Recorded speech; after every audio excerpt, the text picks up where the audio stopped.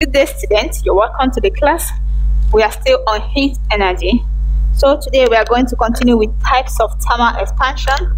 Remember the last class we stopped at linear expansion as one of the types of thermal expansion. So today we are going to look at the area of superficial expansivity, expansivity and also the cubic or volume expansivity and as well expansion in liquid. So when we talk about area or superficial expansivity, beta, it is defined as the increase in area per unit area per degree rise in temperature. Where we have the representation to be beta equals to increase in area over original area times temperature rise, which is equals to change in A all over A1 in bracket of theta 1 minus theta 2, which is equals to A2, that is change in A is equals to A2 minus A1 all over A1 in bracket of theta 1 minus theta 2. So this is a formula for finding area or superficial expansivity where we have the A1 to be equals to original area, A2 new area, theta 1 initial temperature, theta 2 new temperature. Here we have an example. The question says a metal cube of cross-sectional area 3.45 meters square of 0 degrees Celsius is heated rise of 70 degree Kelvin. When the final length of the cube is 3 meter find the a coefficient of superficial expansivity b coefficient of linear expansivity. So we have our parameters in trying to solve the question, the parameter that we are given include the A1. A1 was given to be 3.45 meter square and L2 was given to be 3 meter, while change in theta was given to be 70 K. Remember, change in theta is equals to theta 2 minus theta 1. And if you remember very well, our theta 1, our theta 1 was given to be what? 0. I think so. The initial was 0 so when we subtracted the 2, we got 70 as our answer. And our A2 is equals to L2 times L2. For us to have our A2, we have to multiply the length 2 by itself. That is square. It's going to give us um, 3 times 3, which is equals to 9. So substituting the information into the formula, we'll be having 9 minus 3.45 all over 3.45 in bracket of 70 which is equals to 5.5 all over 241 that is 241.5 then we have our beta which is equals to area of superficial expansivity beta to be equals to 0.022 per Kelvin. Or we can approximate okay no not approximation here. We actually converted to standard form. So when we convert it to standard form, we'll be having 2.2 times 10 raised to power minus 2 per Kelvin. So we solve for the coefficient of um, linear expansivity. So when we have that our coefficient of um, when we have that the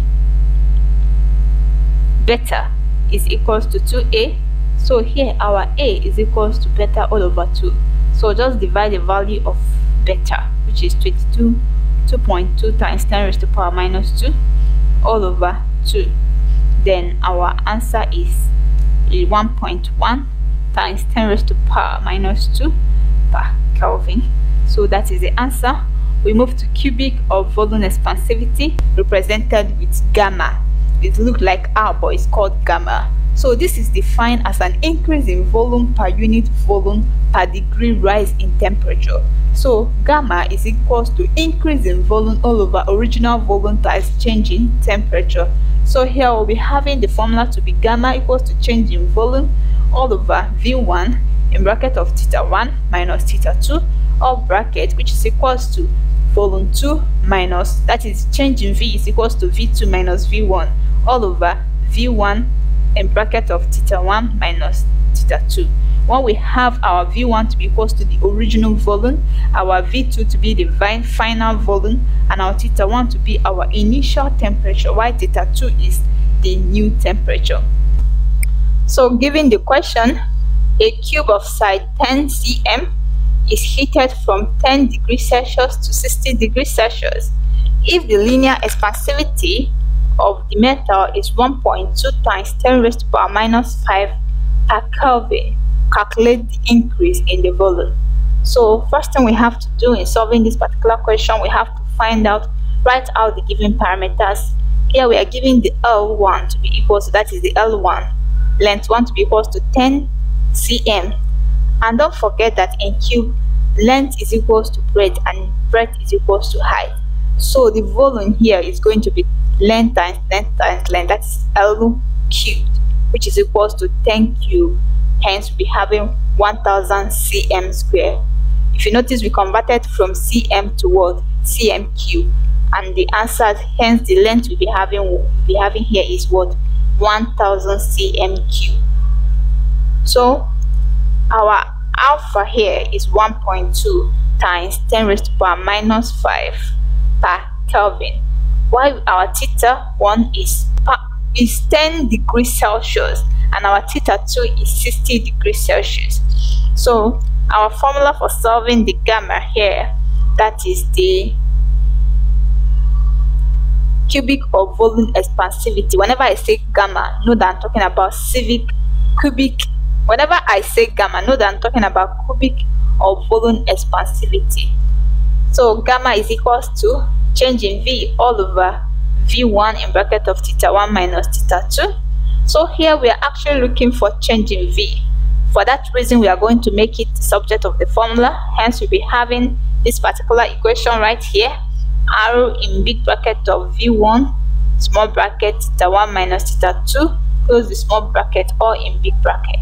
So, and our R is equals to 3 multiplied by alpha. So for us to find the R, which is the word gamma, whenever I say R, no, I'm talking about the gamma. It's not actually R, but I'm just saying it so that can follow up. So the gamma here is equals to what? 3 times what? 1.2 times what? 10 raised to power minus 5 per Kelvin, which is the value of alpha. So when we multiply out, we'll be having 3.6 times 10 raised to power minus 5 per Kelvin.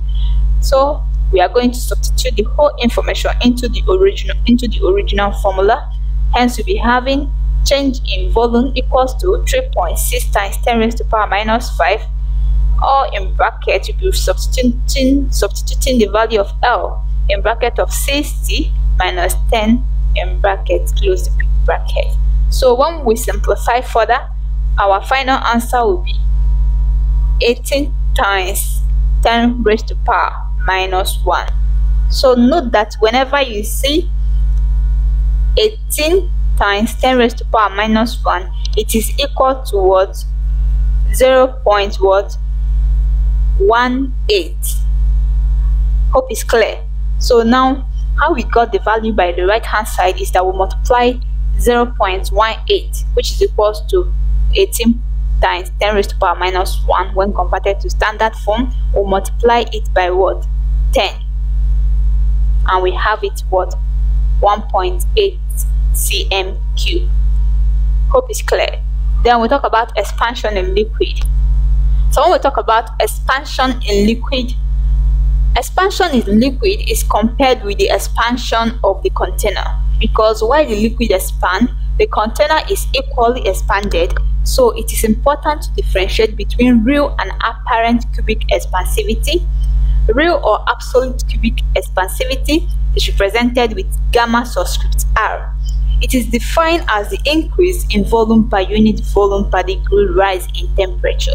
Then when we talk about apparent cubic expansivity, this is represented with what? Gamma subscript A.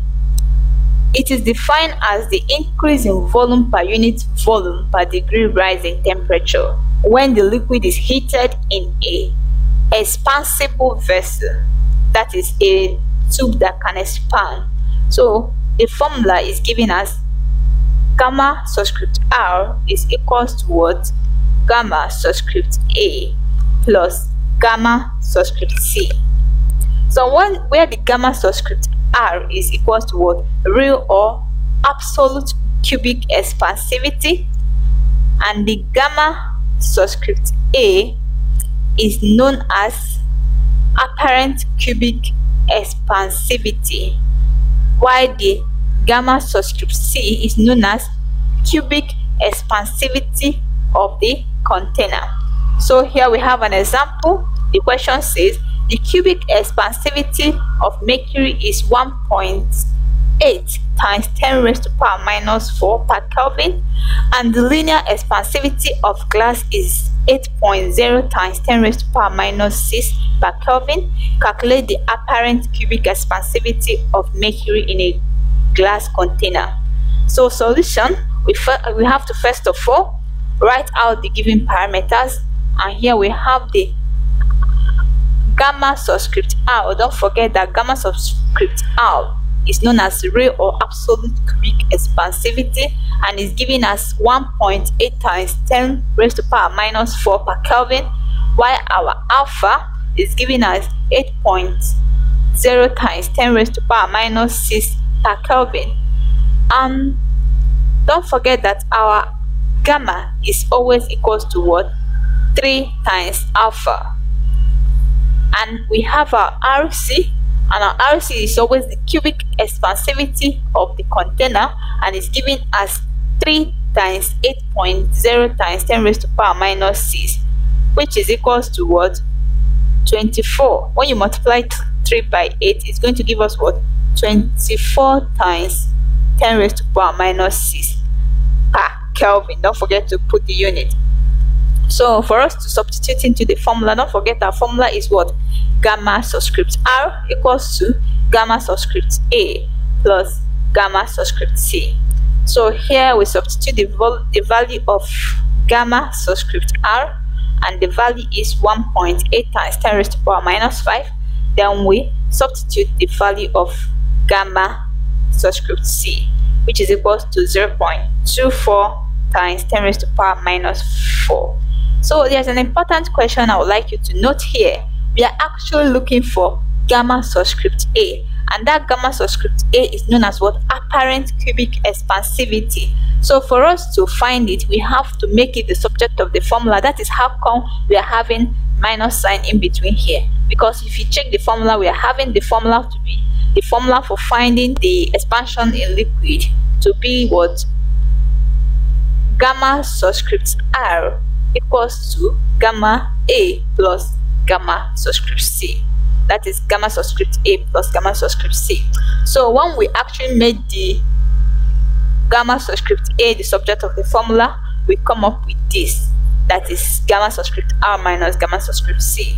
Hence, we substituted the value and when we simplified, our answer, which is equal to apparent cubic expansivity, is equals to 1.56 times 10 raised to power minus 4 per Kelvin. So please, I'd like you to attend to the questions below and do have a nice day. Bye.